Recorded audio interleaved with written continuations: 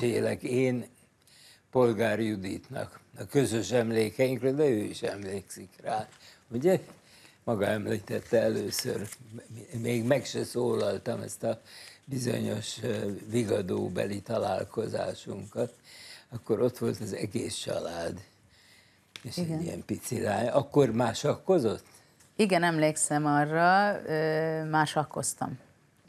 Visszafele menve egy kicsit az időben, ez a mostani megbizatása az ENSZ-nél, vagy az ENSZ-től, amely miatt, ha jól olvasom, hagyta abba az szövetségi kapitánykodást, bár innen ezt se tudom, hogy ez csak egy kifogás volt, vagy, vagy valóban ez volt a döntő ok.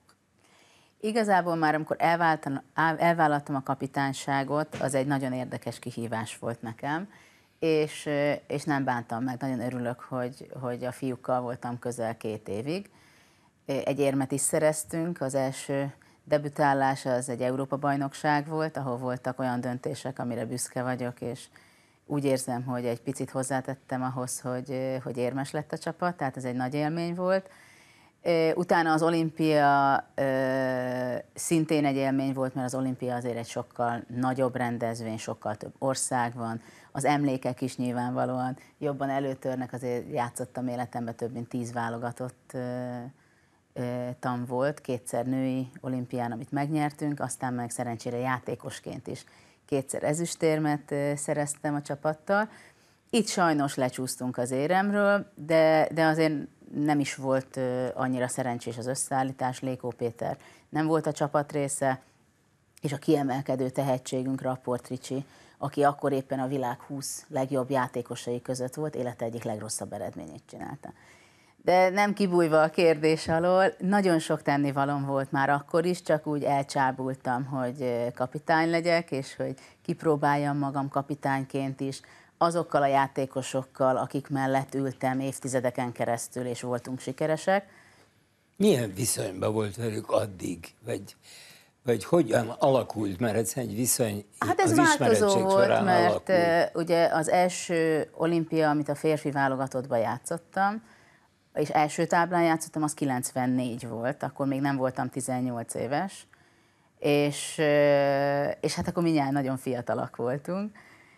És hát akkor még azért konkurenseknek éreztük egymást, riválisoknak, azért mégiscsak a sakk az egy egyéni sportág, de aztán idővel összeszoktunk, közösen tudtunk küzdeni a, a pontokért és a sikerért, és azt hiszem, hogy tényleg nagyon jó csapatként működtünk. Tehát nyilvánvalóan, amikor érmet szerez az ember, a csapat minden tagja úgy érzi, hogy azért kicsit vagy, vagy többet hozzátett, tehát azért azok egy nagyon jó visszajelzések. És, és voltak játékosok, akik nagyon jól tudtak szerepelni a válogatottban, voltak, akik nem annyira idegesebbek, de azért mégiscsak egy csapat volt.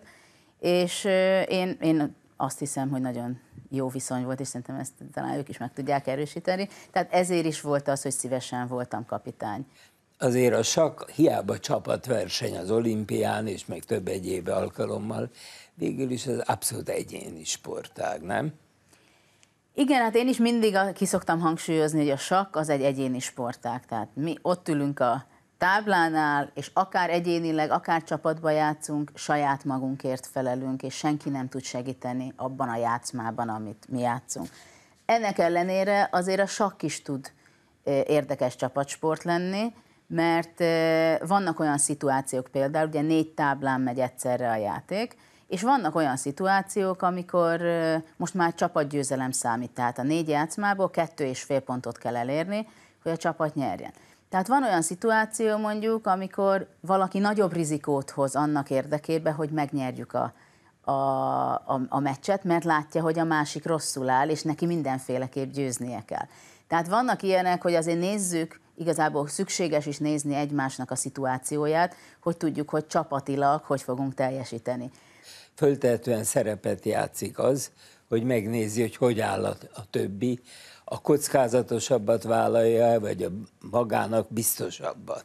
Például sajnos a legutolsó olimpián volt egy ilyen helyzetünk, ahol egy nagyon tehetséges játékosunkat válogattam be, Gledura Benjamint, és hát tapasztalatlan volt, és valószínűleg az is okozta azt, hogy nem megfelelően kezelte a szituációt. Az volt a helyzet, hogy volt két döntetlenünk már a két sötét táblán, és volt két világos játszmán, Görögországgal játszottunk. Almási Zolinak... Bocsánat, a néző itt nem sakkozóként Igen. van kezelve, tehát világos játszma azért jelentett sokat föltételezem, mert az azért mindig előnyt jelent a világosan játszani. Elvileg, igen, igen. Na most ebbe a helyzetbe Almási Zoli, aki kiválóan, fantasztikusan játszott a kapitányságom alatt az Európa-bajnokságon, és érmet, tábla érmet szerzett, de itt is kiválóan, fantasztikusan teljesített egy, egy nagyon kétséges állása volt, tehát bizonytalan volt, de hirtelen változás történt, és átvette a kezdeményezést, és úgy tűnt, szakmailag láttuk, hogy meg fogja nyerni a játszmát. De mindez alatt a negyedik táblán a Benjamin játszott a görög ellenfelével, aki időzavarba volt, tehát az is már azt sugalta, hogy itt felénk fog pattanni a történet, de nagyon ígéretes állása volt, de olyan rizikós lépéseket hozott, hogy nem vette észre, hogy azért, mert ott fordult a kocka az almási tábláján, a második táblán, ezért itt már a jobb állásából is a döntetlen is elég lett volna. Tehát nem kellett volna tovább feszíteni a De, de bocsánat, a szövetségi kapitány hol van a meccs alatt? A játékosok mögött idegeskedik. De ne... és fogja a fejét. Nincs beleszólási joga? Igazából az van, hogy az első 30 lépésig szabálytalan döntetlent ajánlani a játékosnak is, vagy a kapitánynak is segítséget, vagy ajánlatot nem etikai kérdés, sportetikai? Ez szabály most már, hogy 30. lépésig szabálytalan. 30. lépés után már oda mehetek, mint kapitány, hogy azt mondom a bíró jelenlétébe, hogy azt ajánlom a játékosnak, hogy ajánljon döntetlent. De ez pont ezek a, ezek a dolgok úgy történtek, hogy ez a 30. lépés körül volt, és nagyon gyorsan pörögtek az események. Tehát talán volt olyan 20 másodpercem, amikor szólhattam volna, mert úgy történtek a dolgok, hogy már utána a görög játékos játszott győzelemre. És sajnos elvesztette a játékos a Benjamin. Tehát vannak ilyen szituációk, amikor nagyon kell figyelni, főleg az utolsó-utolsó előtti fordulóban, amikor már tényleg végleges az az eredmény, ami lesz.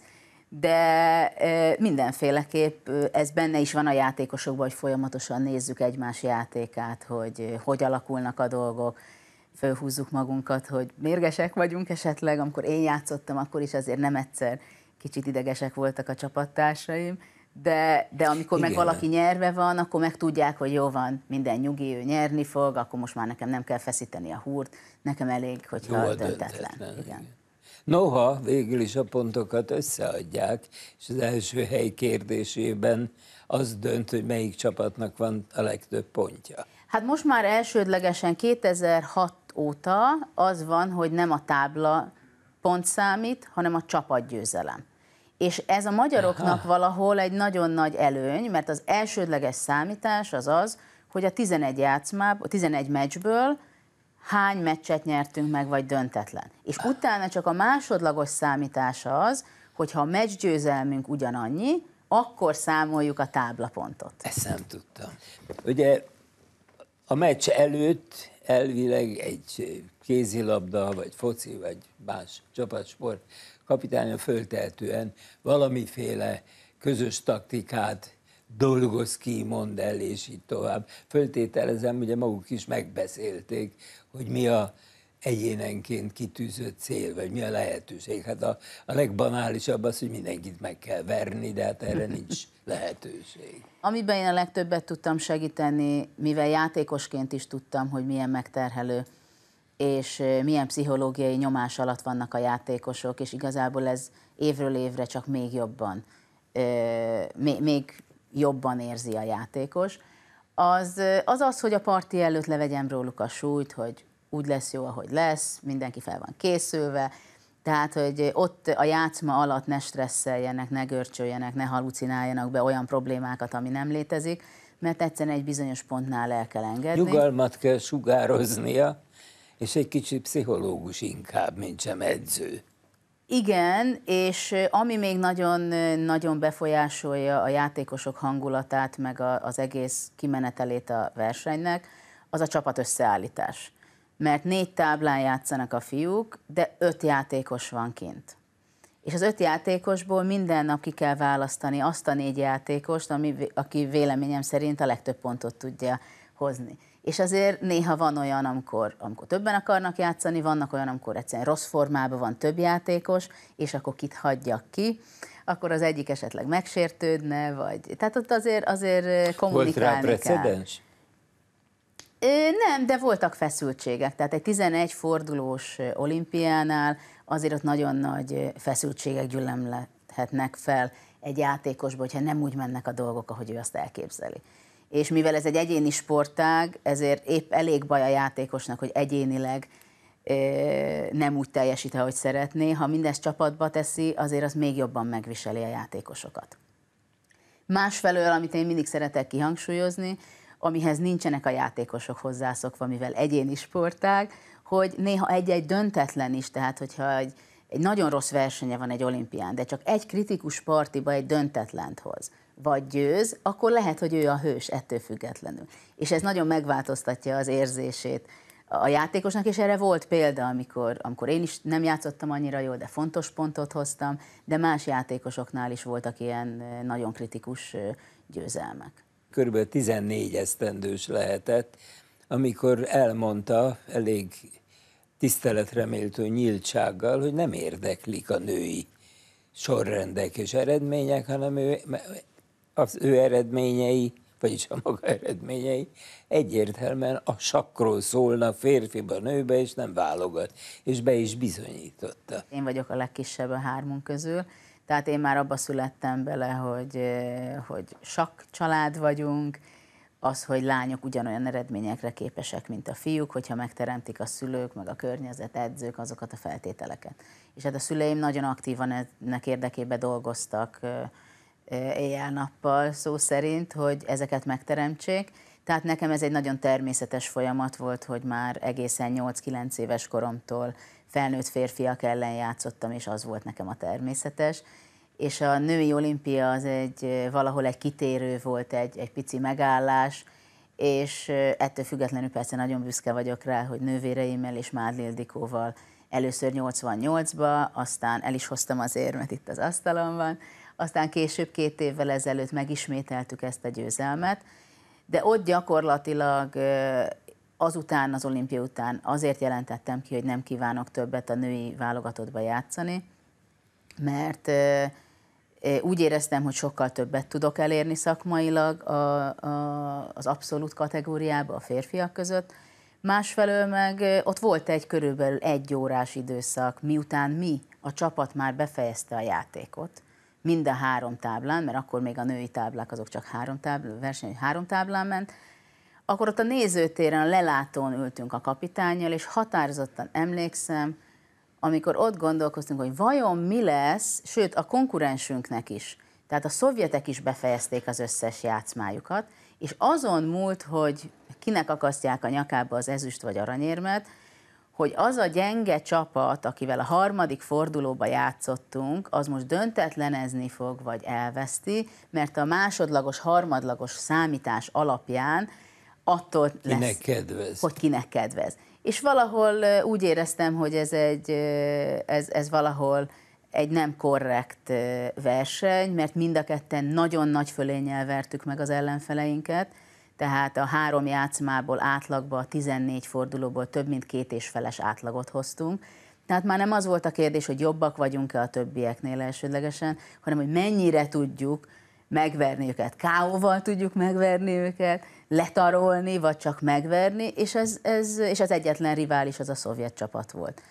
És ezután úgy gondoltam, hogy ez a két aranyérem a csapattal, ez gyönyörű volt, szép volt, de szeretnék előre menni tovább. Magántanulóként Igen. készültek, tehát nem jártak rendes nappali iskolába.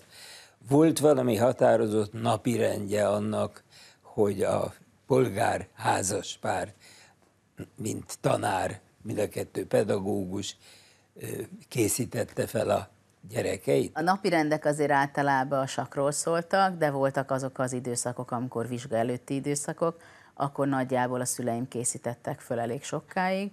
Aztán későbbiekben már voltak más pedagógusok is, akik segítettek ezeknek a vizsgáknak a De a dolog föltétlenül úgy állt, hogy, hogy kevesebb időre volt szükségük, hogy elsajátítsák a tan- tananyagot, mint mondjuk egy iskolai átlag egy osztályon belül. Sokkal Tehát hatékonyabban, idő lett volna. Igen, Igen, mert sokkal hatékonyabban lehetett koncentráltabban tanulni, azért azt, azt hiszem senki nem kétli, hogy egy magántanár vagy egy kisebb közösségbe egy-két gyerekkel azért sokkal jobban lehet tanulni, tudást elsajátítani. Aztán egy idő után a szüleim látták, hogy mennyire jól játszom, milyen eredményeim vannak, tehát azért tinicser koromban már elég egyértelművé vált, hogy én azért profi sakkozó leszek, és akkor már az eredmények, iskolai eredmények se voltak annyira fontosak, hogy mindenhol kitűnők legyünk. Hát, és hát Zsuzsának akkor, amikor ez már szembeötlő volt a maga esetében is, Zsuzsának akkor már komoly eredményei voltak. Hát abszolút, ő, ő már 14-15 évesen nagyon jó eredményei voltak, nemzetközileg felfigyeltek rá, tehát ez egyértelmű volt. Én meg nagyon korán kezdtem el nemzetközi sikereket elérni, tehát első nemzetközi sikerem New Yorkban volt, 9 éves voltam, 9 és fél. Akkor megnyertem a, a leggyengébb csoportot leggyengébb? Igen, mert ott volt egy olyan, olyan hatalmas nagy fesztivál, ahol több mint ezer ember volt, talán még több, és különböző csoportok voltak. És ez a csoport, ahol én játszottam, az a nemzetközi élő nélküli csoport volt, de volt olyan játékos, akinek volt élőpontja nemzetközi, csak elvesztette azért, hogy játszhasson ott, de valahogy nem számolt azzal, hogy én még jobban fogok játszani. Ez nem, ez nem az a klasszikusan emlegetett eset, mert az, ha jól tudom, Görögországban volt, de szóljon rám a tévedek, ahol a 13 játszmából 12 és fél pontot csinált. Nem, nem, az később volt.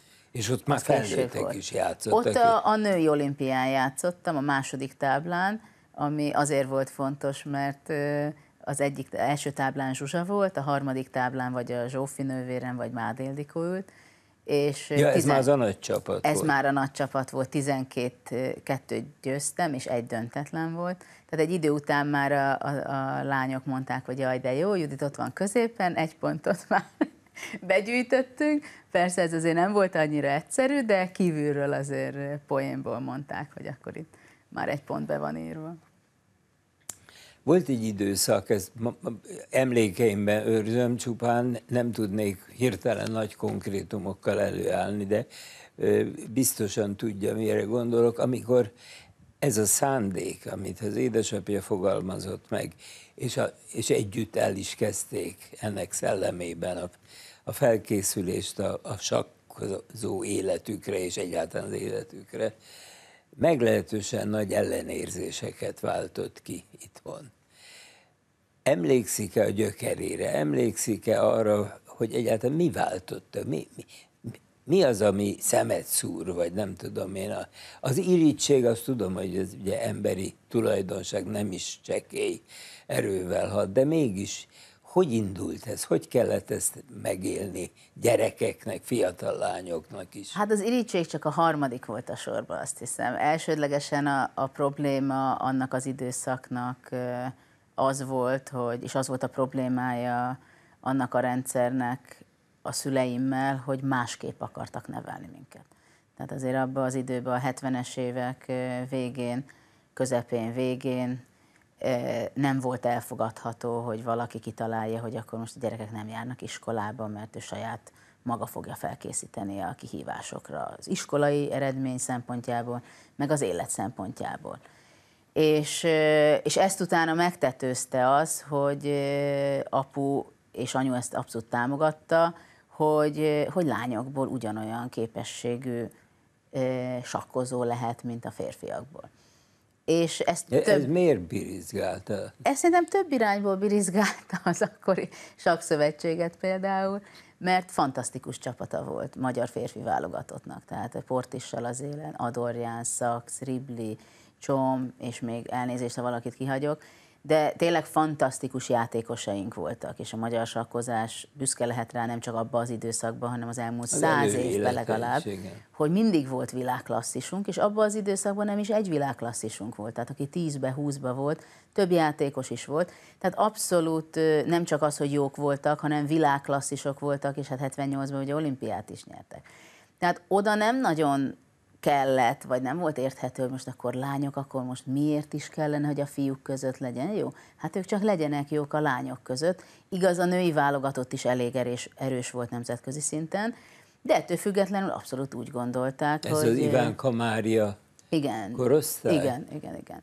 És tehát gyakorlatilag szerintem nem látták értelmét, és nagy rizikót éreztek benne, meg leginkább azt, hogy másképp szerettek volna a szüleim nevelni minket, és Szóval ez nem, nem volt... uniformizált az oktatási forma. Igen, igen, se az oktatási forma, se a sakkozási célok.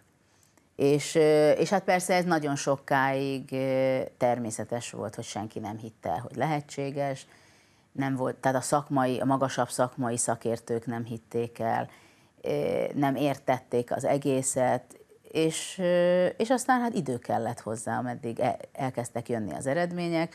Igazából a fordulópont én úgy gondolom, hogy elsődlegesen 88-ba jött el, amikor az olimpiát megnyertük, akkor az egy nagy áttörés volt, de arra még mindig mondhatták azt, hogy hát a nők között szerepeltünk, de utána hatalmas nagy áttörés ö, 2091-ben volt, bocsánat, amikor 15 éves voltam, és megnyertem a szuperbajnokságot. És ez volt az a verseny, ahol gyakorlatilag a Port is játszott, Szax játszott, mindenki játszott, a legjobb játékosok játszottak Magyarországon, és én győztem. Tehát ez egy olyan dolog volt, amit úgy nehéz volt úgy azonnal betámadni, hogy mégse tudok sakkozni, és, és ezután már azért sokkal könnyebb volt, és sokkal jobban elfogadták a tevékenységemet. Az a különösebben, hogyha állítsuk szembe a két véleményt, hát ha nem hittek benne, és irritálta őket, meg tudná mondani, vagy gondolkodott valaha is ezen, mert nem fontos, de azért talán érdekes, hogy hát mondhatták volna azt is, egy, hogy na jó, csinálják. Hát itt ez egy elszigetelt jelenség volt. Akkor nem volt, ne- nem harapódzott el, hogy nem kell iskolába járni gyerekek, otthon jobban lehet tanulni például, hanem ez a, ez a család a rendkívüli képességei gyerekeit úgy gondolta, hogy erre készíti fel. Tehát azt lehetett volna mondani, hogy ugyan már fi- figyeljétek csak, mi lesz belőle egyrészt. A másik, amit, amit nem tudok, hát kapott valami olyan támogatást, anyagit és egyebet, hogy azt mondták volna, hogy ennek az a feltétele, hogy tessék iskolába járni, mint a többi rendes gyereke. Amennyire én tudom, én emlékszem, nem igazán kaptunk támogatást. Az MTK-tól volt támogatásunk, az akkori klubunknak, ők támogattak edzőkkel, valami anyagiakkal, de a szövetségnél az, az volt a nagy siker, hogyha nem akadályozták azt, hogy menjünk külföldre, és azért voltak ott nagyon komoly dolgok, ahol próbálták akadályozni, és próbálták a nemzetközileg is elhitetni, hogy, hogy mi azért nem érdemeljük meg azokat a lehetőségeket, amik után mi De nem vágyakoztunk. lelőkni a bábuit az asztalról, mivel hát, Hát- tudták akadályozni. Hát azzal tudták, hogy gyakorlatilag Zsuzsinak azért, azért keresztbe törték a karrierjét, amikor 16 éves lehetett, vagy 17 körül, amikor ő világranglista első lett a nők között. És nemzetközi szovjet és magyar kezdeményezésre, ott volt 86-ban, Dubajban volt egy kongresszus, és meghozták azt a döntést, hogy minden nő 100 élőpontot kap, kivéve Polgár Zsuzsát. Azért, mert azt találták ki, hogy a férfiak erősebbek, de férfiak ellen játszik Zsuzsa, könnyebb élőpontokat szerezni. Ami abszurdum volt, mert hogyha valaki erősebb ellenféllel játszik, igen, ha nyerek, vagy ha kellő mennyiségű Nagyobb pontot, akkor nagyobb a győzelmi pont arány, az élőpontokban jobban haladok előre. De hát mégiscsak erősebbekkel ellen játszok, tehát kell győzni. és akkor itt egy nagyon nagy törés volt Zsuzsánál, tehát ez azért egy nagyon-nagyon kritikus pont volt. Későbbiekben utána ő már nem is került vissza elsőként, utána néhány évvel később már én kerültem első helyre, amikor 10, három Kérte éves valaha is bocsánatot a saksport? Vagy ismerte ebbe valaha is a tévedését valaki a sportág képviseletében? Hát úgy direktben én most nem tudom azt mondani, hogy igen, vagy nem. Én azt hiszem legjobban az ilyen dolgokat nagyon nehéz azoknak bocsánatot kérni, akik úgy tettek, ahogy esetleg nem kellett volna. Leginkább, leghatékonyabban úgy lehet, hogyha, hogy miután hagyták, hogy, hogy éljük a saját életünket, és, és amikor már nem akadályoztak, akkor nagyon sokat, sokáig nem is segítettek, de az utóbbi pár évben a magyar sakk kapott támogatást, a sakkozók valamennyire voltak segítve, tehát ez, ez jó volt. Nekünk azért túl sok konfliktusunk volt, hogy olyan egyszerű lett volna azt mondani, hogy bocsánat, és, és azért nagyon mély sérelmek voltak, tehát azok nem, nem biztos, hogy, hogy, hogy az elég. Ugye a sakban is, mint más sportágokban is pénzdíjas versenyek kezdődtek el, és ennek egy idő után nem is volt a felfogás, közfelfogás a sportban, nem akadályozta, de igény tartott bizonyos százalékokra. Tehát maguknak ezekkel az ellenérzésekkel együtt kötelezettségük volt-e arra, hogy befizessék azt, ami ilyenkor szokásos? Én erre nem emlékszem. Arra viszont emlékszem, hogy, hogy kevés támogatást, de kaptunk azt a klubtól, hogy tényleg edzések legyenek, és arra is emlékszem, hogy a szüleim egy idő után mind a ketten ott hagyták a pályájukat, és csak ránk koncentráltak, és ez azért volt lehetséges, mert Zsusa már elkezdett versenyeken úgy játszani, hogy voltak pénzdíjas bevételek, és nyilvánvalóan egész más volt külföldön nyerni akár egy ezer dollárt, abból azért nagyon sok edzést is lehetett fizetni, meg meg is lehetett élni szerény körülményekkel. Tehát igazából ez volt az, ami tovább tudta vinni hogy Zsuzsa nyert, és akkor ez mindig be volt fektetve a további eredmények érdekébe, és akkor ez egyre szebben alakult a továbbiakban. Azt mondja, be volt fektetve, ez például mit jelent, hogy, hogy mestereket hát szegődtettek? Igen, igen, tehát például apuék megcsináltak egy kartotékrendszert. Ott több százezer játszma volt, azt úgy kell elképzelni, hogy ilyen dobozokba egy-egy kartonra volt rádolgozva egy-egy játszma. Azokat az újságokat, könyveket meg kellett venni, apuék kivágták, minden egyes Rárag. kartonra ráragasztották, azt ugye kódrendszerbe meg név szerint ki kellett szelektálni, akkor ez volt egy nagy befektetés. Utána voltak különböző könyvek, amiket meg kell, folyóiratok, voltak edzőpartnerek, utaztatásra, tehát azért már akkor is voltak nagyon komoly költségek, amit fedezni kellett annak érdekében, hogy eljussunk versenyekre, és egy idő után már azért a nemzetközi versenyekre volt szükséges eljutni ahhoz, hogy tovább tudjunk fejlődni. Mi ez a tanszék, mert ezt olvastam, amiben Zsuzsa tevékenykedik New Yorkban. Zsuzsa először New Yorkban, amikor kiköltözött, akkor egy sakklubja volt, de akkor még az egy ilyen pici klub volt. Utána Texasba volt, ott alakított tanszéket, mert Amerikában minden sportágban megvan az egyetemista sakkozás és gyakorlatilag ő és a férje alakította ki a sakban is, hogy ez egy fontos dolog legyen. És azóta Texasból már tovább ment St. Louisba, ott folytatta egy másik tanszéket, de a két egyetem, ahol volt és ahol jelenleg van, hét alkalommal nyertek bajnoki címet már, úgyhogy most pont nemrég volt az utolsó győzelmük. Tehát nála az azt jelenti, hogy edzősködik a, a csapattal, és azok a sakkozók, sakmesterek, akik tanulni is szeretnének, azok az egyetemen ott egy ösztöndíjat kapnak, de komoly edzéseik vannak sakban is, és, és az éves versenyekre mindenféleképp mennek, és egyenlőre győznek.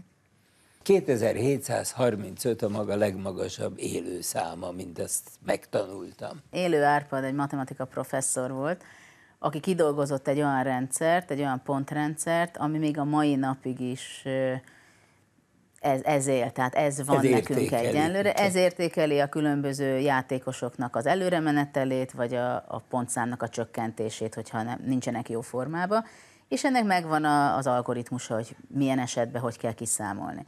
De igazából én is már jobban szeretem azt használni, hogyha nem profikkal és nem szakmabeliekkel beszélek, hogy nekem a 2735 az a világon a nyolcadik legjobb pozíciót adta amikor a legjobb formámban voltam, sokáig ez a, voltam. Az egy, ez egy tulajdonképpen világbajnoki verseny. Hát a világ legjobb játékosaival játszottam sokszor így, de azért annál előrébb nem tudtam törni. A világbajnoknak, Magnus Carlsennek 2850 fölött élő pontszáma volt a, a legmagasabb, tehát ez influálódik azért az élő pontszám is. De ez, ez, ezt mindig nagyon fontosnak tartottuk. Amikor én gyerek voltam, akkor 2700 volt az a mágikus szám, amit, amikor be lehetett jutni a 10 közé mondjuk, vagy sőt, hát akkor még talán csak 6 közé. Tehát az volt a fantasztikus, de mindig voltak egy olyan, mindig volt olyan lépcsőfok, ami az álom volt. Tehát először a játékosoknak ugye vannak ezek a mester, nemzetközi mester, de hát a nagymesteri cím az, ami aztán egy fantasztikus dolog. És érdekes, hogy annyira fantasztikus dolog, hogy nagyon sok játékosnál eh, észrevettem, és még magamnál is, hogy a nagymesteri cím után az egy, az, hát aztán élőpontokba számoljuk az előre araszolást. Tehát, hogy egy olyan űr keletkezik, hogy most már, most már nem kell az, a nagymesteri cím után epekedni, és azt a szintet megütni feltétlen a versenyeken, az úgy megvan, és akkor hogyan tovább. És akkor, hát én 15 éves voltam, amikor Fischernek a rekordját meg is döntöttem, és a legfiatalabb nagymester lettem, akkor azt hiszem 2550-es élőponton volt körülbelül, és utána az volt 2600, azt át kell lépni, azt a, azt a mágikus számot. Amikor 2600 volt, akkor 2650, utána 2700, és például a 2700-as élőpontot akkor még azért jóval akkor 15-be lehetett kerülni kb. a 2700-al, akkor nagyon sokszor azért nem tudtam átlépni, mert egy évben játszottam mondjuk 7-8 versenyen, játszottam 5 stabil versenyen, vagy 6, ahol egy picit mindig győztem. Azt kell tudni, hogy az élőpontoknál, ha egy versenyen jól játszok, akkor ha nyerek 8 és 8-10 élőt, az már jó, ha nyerek 20 az már nagyon-nagyon jó, a fölött nem is nagyon szoktunk nyerni.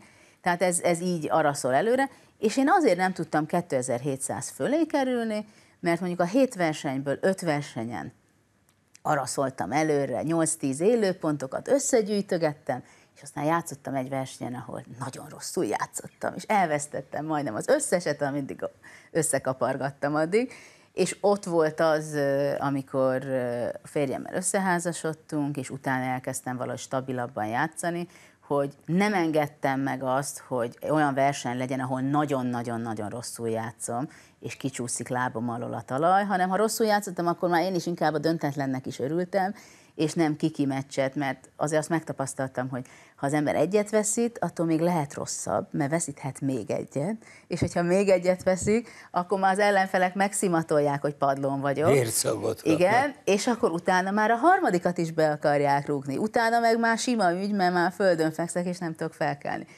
Tehát a sakban is az van, hogy stabilizálódni kell, azért kárenyhítést kell végrehajtani különböző versenyeken, és így araszolunk előre. Most már azért az élőpont is nagyon fontos, de ugye nagyon sokan az első tíz között azért azt nézzük, hogy ki az első, vagy első tízbe vagyunk, hogy jobban lehessen érteni külsősöknek is. Szóval magának az volt a híre egy időben, hogy a, a férfiaknál is férfiasabban játsza a sakkot, és a, a nagy kockázatvállaló hírében állt. Aztán meg a saját nyilatkozata kicsit megcsendesedett ez a harciasság. Nyilván ez is a most mondottakkal valamelyes összefügg, hogy más, másként kell megbecsülni, ha az embernek nem megy úgy a játék, Igen. mondjuk. De ez felkészülés kérdése, azt mondta, hogy megnyertem 5-6 versenyt, és akkor az egyiken nagyon pocsékul játszottam nyomába lehetett eredni annak, hogy mi volt az oka? Másként készült, vagy kevesebbet készült, vagy futtába vette, hogy úgy mondjam? Hát van olyan, amikor egyszerűen kifelé pattannak a labdák, vagy befelé pattannak a labdák. A sakba is van. Igen, a kapufáról. Tehát a sakban is van az, hogy ugye kívülről úgy néz ki, hogy leül két játékos, lejátszák a játszmát, a jobbik győz. Ez elvileg így is van, de gyakorlatban nagyon sok eleme van, amitől ez, ez így alakul. Először is ugye a felkészülés, a sakkészség, hogy az embernek mennyire van lendülete, kedve sakkozni, mennyire van türelme, az is nagyon fontos. És akkor utána jönnek a, a felkészülés része, például a megnyitás választás. Vannak olyanok, amikor mondjuk egy új repertoárt elkezdek kidolgozni, és rájövök, hogy hát az nem nekem való. Tehát az ember lehet, hogy szereti a sportos öltözéket, hogy valaki felvesz egy öltönyt, valahogy úgy sehogy nem áll rajta. Hát ez a sakba is hasonlóképpen van, hogy vannak olyan megnyitások, akik hiába objektíve jó, de nekem nem a stílusom, nem tudok egyé válni, nem, tud, nem érzem a dolgokat, rosszul döntök, időzavarba kerülök, mert nem tudok dönteni jól, és akkor így, így jönnek a problémák. Tehát ilyen is van, hogy, hogy egyszerűen egy nyitásváltásnál is lehet, hogy rosszul mennek a dolgok. Nyilván egyéniség kérdése is, hogy ha rosszul mennek a dolgok, akkor mennyire tudja az ember behúzni a féket, mennyire tanulja meg. Én ugye, mivel egy agresszív játékos voltam, ez benne volt a pakliba, hogy ha nem vagyok elég éles, nem vagyok elég jó Arra. formába, akkor amikor osztogatom a figuráimat, akkor valahogy a matt az elmarad, és elvesztem a játszmát. És akkor ezt idővel megtanultam, hogy azért ez az agresszív játék, hogy ugye osztogatom az anyagi áldozatokat az ellenfélnek, ez nem mindenki ellen válik be. És hát kellett egy kicsi idő, ameddig én is kicsit formáltam, és formálódtam, formáltam magamat, megértettem, hogy ne ugorjak az ellenfélnek, hanem ha nem megy, akkor nem megy. Akkor inkább most legyen egy döntetlen, és akkor utána egy kicsit rápihenve megint elindulok a győzelem felé.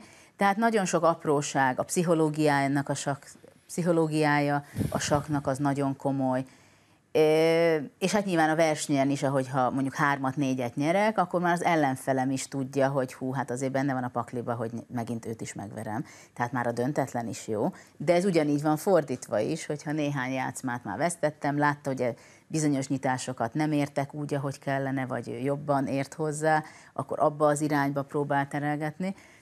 És hát idő kellett, ameddig a legmagasabb szinten is ki tudtam dolgozni azokat a stratégiákat, amivel meg tudtam fékezni a, lejtőn a dolgokat, hogyha éppen úgy alakult. Ott felejtkeztem és kifelejtettem, akkor csak nagyon röviden, bár van még időnk, de több minden van, amit szeretnék megkérdezni. A kompjúter megjelenése a maga pályafutásában mit hozott? Hát gyakorlatilag az én életemben az első laptop számítógépem az 13 éves koromban jött az életembe. A számítógépekről azt kell tudni a sakba, hogy hát az elején olyan játék volt, olyan nagyon jó pofa kis játék, hogy a képernyőn tudtunk sakkozni, játszani a géppel, és hát az első adatbázis, amire össze volt gyűjtve a nemzetközi játszmák, az volt 3000 játszma. Ma közel 20 millió játszma van. Atya úristen. És ennek Ez a... olyan, mint a maguk kartotékai voltak. Igen, igen, gyakorlatilag ott volt a váltás, hogy szépen elkezdődtek a, a világ összes játszmája, vagy minél több játszma feldolgozó, de az 1800-as évektől kezdve fel vannak dolgozva játszmák, amiket felleltek. Na most ez nagyon megváltoztatta a, a játékot, és a, leginkább a felkészülést. Nagyon sokáig a 2000-es évek elején én egy ilyen krízisbe kerültem, mert ugye addig már egyértelmű volt, hogy a jegyzetek, amit 15 kilósak voltak, és mindig cipeltünk magunkkal, azok fel lettek dolgozva ugye komputerre, adatbázisba. Jöttek, jöttek a, a száma a játszmáknak, 1 millió, 2 millió, 3 millió, stb. Most egy bizonyos pontig ez abszolút kezelhető volt, mert úgy ellenzünk és úgy készülünk föl a játszmákra, vagy dolgozunk ki új stratégiákat, új nyitásokat, hogy megnézzük, megszűrjük abból a három millió játszmából, hogy én a szicíliai védelmet szeretném, azon belül a hatodik lépésbe, ahol F4 történik, és hogy szépen megszűröm. Na de akkor, amikor már teljesen mindegy, hogy meddig szűröm, ami, értel, ami értelmes, ott, amikor van ezer játszma, vagy csak 500, akkor ott egész másképp kell elkezdenünk gondolkozni a szortírozással, hogy mi alapján szűröm az információt. Igen, általában a legtöbb játékos úgy szokta szűkíteni, hogy az élőpont, tehát a, játékosoknak az erősségét megszűri, tehát azt mondja mondjuk, hogy 2500 élőpontú játékos alatti játszmát nem nézek. És akkor már ugye nagyon meg van szűrve, hogy tényleg csak egy nagyon jó mester, nagymesteri játszmákat ellemez, és azt abból szűri le az információkat, és azt folytat. Tehát ez egy nagyon fontos, a sakban is megtörtént az, ami világ minden területén, hogy írdatlan mennyiségű információ van, és az egyszerűen kell egy megbízható csatorna, amire azt mondom, hogy ennek hiszek, ezeknek a játékosoknak, ennek az információs forrásnak. Tehát ez nagyon megváltoztatta. Ami még megváltoztatta a sakkot nagyon, hogy kialakultak az ellenző programok. Tehát azok a robotok, amiben be lehet rakni szituációkat, és megmondja, hogy akkor ő hogy gondolja az értékelését is, meg a lehetőségeket is, meg a számolás. Hát ugye a számolással nem lehet fölvenni a versenyt, viszont az emberi intuíció az egy nagyon erős része a felkészülésnek, annak ellenére, hogy egy, egy, a legnagyobb, legerősebb számítógép másodpercenként több százmillió lépésen futtatja át az agyát idézőjelbe téve. De ez egy nagyon trükkös időszak volt nekem is a 2003-2004 körül, amikor sajnos el kellett fogadnom, hogy az én kreativitásom az nagyon szép, nagyon jó, amit a programok pillanatok alatt megfúrnak, és megmutatják, hogy hol néztem el valamit, ami nem egy jó érzés, tehát azért önbizalom romboló egyértelműen. De ott el kellett döntenem, hogy igenis én is aktívan fogom napi szinten használni a programokat. Tehát, hogyha pályán akarok maradni, élmezőnybe, akkor ott nincs mese, ott, ott ezt használnom kell. Mert addig úgy hébe-hóba használtam, nem hittem neki, stb. Mert egyszerűen lemaradok információba, mindenbe. De mostanra meg már annyira megváltozott, hogy az utolsó tíz évben annyira profik lettek és jól működő programok vannak. Egy az, hogy van legalább három, négy, öt olyan program, ami egyenértékű, csak az egyik mondjuk jobban tud értékelni, a másik bizonyos állástípusokat tud jobban játszani, jobb lépéseket ajánlani, stb. A játékosok mindenki profi szinten mindig futtatja az ellenző programját, miközben ellemez a saját gondolatát, mindig ellenőrizteti, de mivel mi nagyon sokat használjuk a komputert, és tanulunk tőlük, viszont a programok is nagymesterek segítségével vannak kalibrálva, hogy milyen értékelés alapján, ezért egyre jobban közeledik a gondolkodásmódunk. Tehát egyre jobban hiszünk egymásnak, a játékosok egyre jobban tudják irányítani az elemző programokat, hogy milyen irányba szeretne tovább fúrni lefelé a mélybe, hogy kincseket találjon, és, és ez egy nagyon érdekes dolog, mert a játékosok, akik sokat dolgoznak komputerrel, egyre nagyobb az önbizalmuk, hogy nekem jó számítógépen van, én pontosan tudom, hogy mit csinálok, én nem nézek el, mert én led- kidolgoztam, átnéztem, átvizsgáltam, stb. És borzalmas, hogy, hogy mennyire érdekes játszmák vannak az utóbbi években így, mert sokan úgy gondolják, hogy a programok, a számítógép megöli a sakkot. De igazából az utóbbi évben, hogy ennyire jól tudnak dolgozni együtt a játékosok a programokkal, így extra önbizalommal nagyon nagy rizikókat is képesek a játékosok bevállalni, mert úgy vannak vele, hogy én otthon megcsináltam a házi feladatomat, én pontosan tudom és kontroll alatt tartom ezeket a legélesebb helyzeteket, és belemennek. Úgyhogy ez egy nagyon érdekes folyamat volt nekem is nézni, mint játékos, aztán most már, mint szurkoló. Az iskola. Ugye iskolákban lehet választani a sakkozást, ebben is igen erősen benne volt, hogy úgy mondjam. Nem is tudom, a maga kezdeményezése volt eredetileg, vagy még a papától ered? Igazából az iskolai sakk tanítás az nagyon régóta van Magyarországon is. Az, hogy iskola utáni szabad foglalkozások. Igen, iskola utáni pluszórák, sakklubok, gyerekversenyek, stb. az már nagyon régóta van szerencsére. Aminek én vagyok az úttörője, az 2010-ben írtunk egy könyvet a nővéremmel, óvodásoknak, de utána elindultam 2011-ben az Európai Parlamentbe a Kasparovval, karöltve támogattuk azt, hogy bekerüljön a, az oktatásba a sak valamilyen formába, és miután ott, ott megszereztük a több mint fele parlamenti képviselő aláírását, támogatását azzal, hogy jónak tartják, utána vissza lett küldve a tagállamokba ez, hogy akkor mindenki próbálkozzon úgy, ahogy tud. E, és hát Magyarországon e, akkor én kezdtem el ugye e, ennek érdekébe tenni, és kialakult egy olyan választható tantárgy, hogy sok mint képességfejlesztés. Na most ez a program azért nagyon más, mint az iskolai sakkoktatás, mert az iskolában a sakkoktatás az saktanárokkal van, ennek az oktatási programnak meg a lényege, hogy csak alapszabályaival tanárok oktatják, mert keresztantárgyasan csináltuk meg, hogy a gyerekek komplexen, kreatívan, játékosan gondolkozzanak és sajátítsanak el olyan információkat, ami a mostani digitális korba hasznukra válhat, nem csak most, hanem majd később is. Csak egy-két példát mondanék, mert sokan nem tudják elképzelni, hogy ez hogy lehetséges. Abszolút a saknak megfelelően a sakot tanítunk, akkor például a bástyának az értéke az 5, a gyalognak az értéke 1, a huszárnak 3, a vezérnek 9.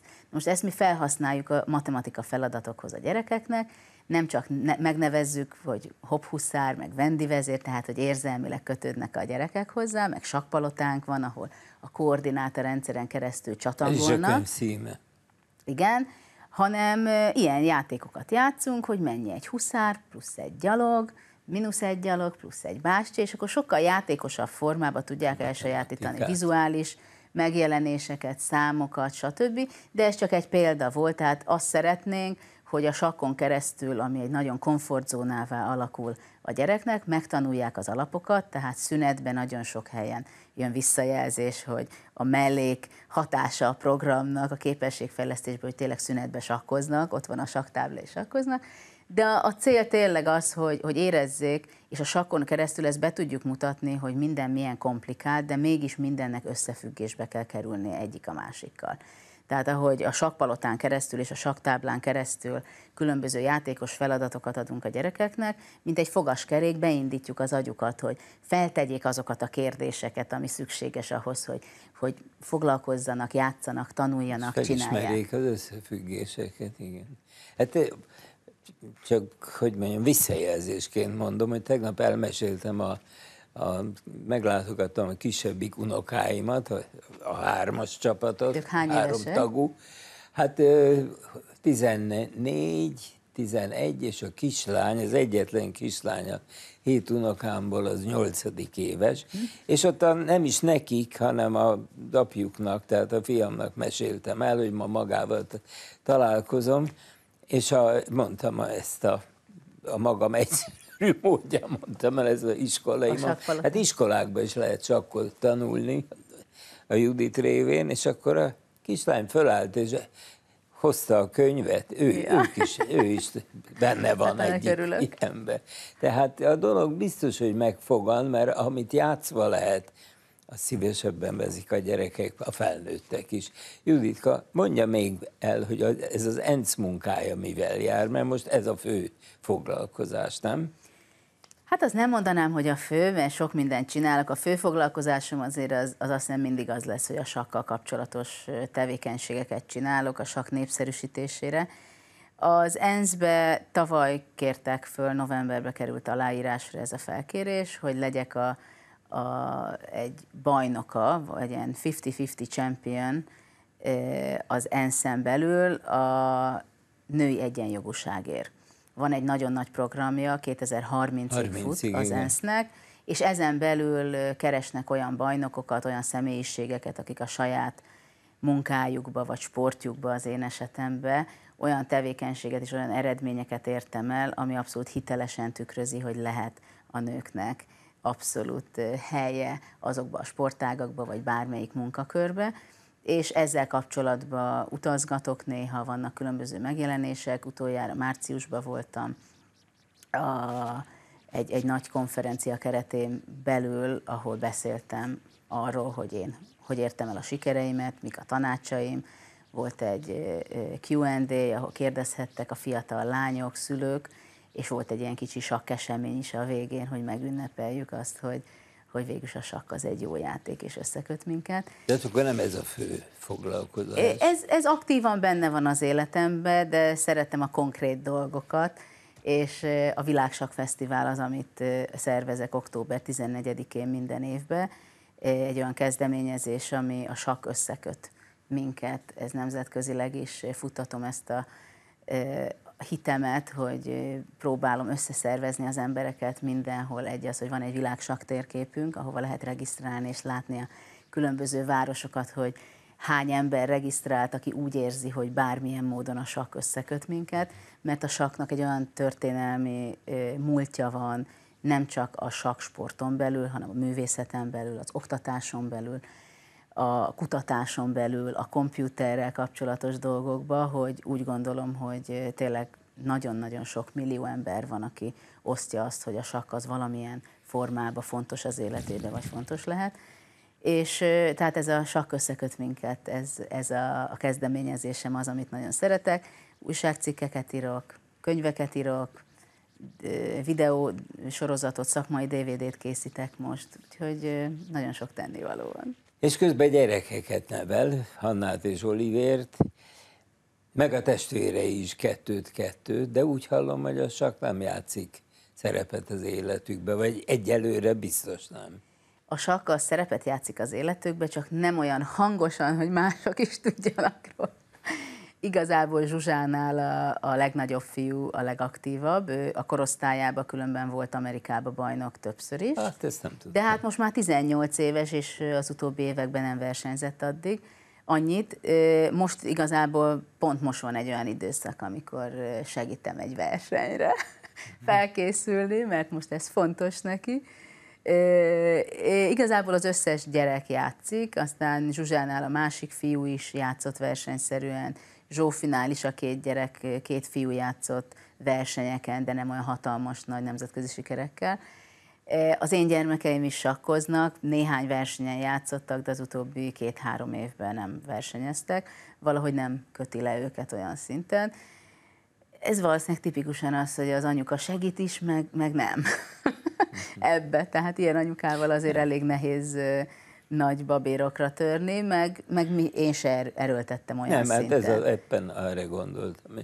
Nem volt ez előírva, hiszen a bár Polgár László sakkozó volt hát maga nem volt szintjén. profi, egy amatőr Nem, sakkozó amatőr volt apu, sakkozó soha nem volt. volt versenyző. És itt jöttek a lányok, lettek sakkozók, de nem kötelező, hogy ennek így kell tovább menni.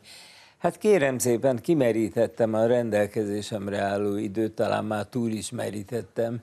Nagyon-nagyon örülök, hogy láttam, és akkor ez mostan a harmadik találkozásként kerül be, ugyan senkit nem érdekel különösebben, de örülök, hogy jól van, és egy ilyen gyönyörű szép pálya e, végén, és az én életkoromat is tekintve még találkozhattam Köszönöm magával. Szépen.